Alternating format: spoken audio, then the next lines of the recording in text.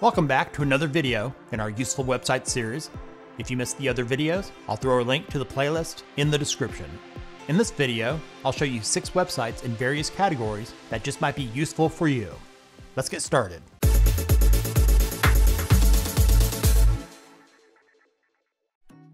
First up is ICO Convert, which can take any image on your computer and convert it into an icon to be used on a website or anywhere else that you need it. Here's how to use it.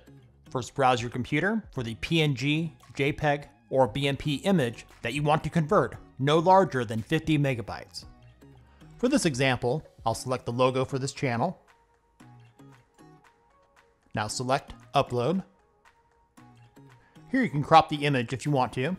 Below that, you'll also have the option to select the style. You can select them individually, select all of them, or select none. I'll go with this one here. The next step is to select the format that you want. The options are PNG, ICO, and favicon. I'll leave it on ICO. And when you're ready, select Convert ICO. When it's done, below that, you'll have the option to download your icons. And here's the icon I just downloaded. GetLinkInfo takes those shortened links from web pages to let you see the original URL and determines whether a website contains malicious software or is a phishing site using Google Safe Browsing. When you're on a website with a shortened link, for example, this site has a bit.ly link, copy it, and then paste it on the GetLinkInfo site. Then do your search. You'll get a link information page that looks like this with the title and description, if there is any, the address of the URL hiding behind that shortened link, along with information letting you know if those links are safe.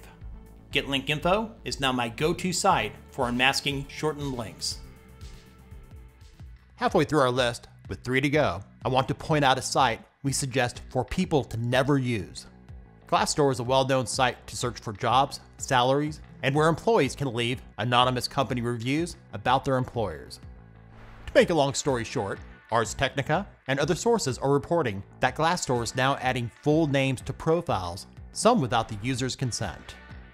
In addition, Glassdoor is now requiring that users need to be verified by adding their real names and jobs to their profiles. While they can still remain anonymous while posting, a simple request from a government entity or a data leak could easily expose these users to retribution from their employers. So once again, we recommend that you never use this website. Back to the sites we do recommend. This will be a quick one for those of you looking for an alternative to Canva. Desygner is an easy to use graphic design website that lets you create your own designs for your business, social media, and anything else. They have thousands of free templates to help you create posters, banners, social media posts, along with several other categories of templates. Desygner also includes millions of royalty-free images and thousands of vector art, stickers, and backgrounds. Desygner is free, but if you require more features, they do offer a pro version for 750 per month and a business plan for $19 per month. Scratch is a free visual programming language and online community for children. It was developed by the MIT Media Lab for kids ages 8 and up. Scratch is often used to teach coding, computer science, and help with computational thinking. They have a lot of tutorials to help you or your child get started. Just select a tutorial, then just follow the directions along the right side of the page.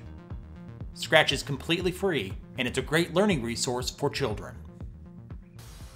What Should I Read Next is a book recommendation site that analyzes their database of real readers to give you suggestions on what to read next. It's simple to use. Enter the title of a book or an author. I'll enter in the title of a book by Cory Doctorow called Down and Out in the Magic Kingdom and I'll select it. Now it shows recommendations that are similar to the book I entered by various authors. So the next time you're having trouble finding a new book to read, check out What Should I Read Next? Thanks for watching. All links are in the description. Give this video a thumbs up if it was useful for you. If you know of a website that you think would be beneficial for others to know about and use, let me know about it in the comments. And if you haven't done so already, subscribe and click the bell notification icon for more useful websites and other tech related stuff.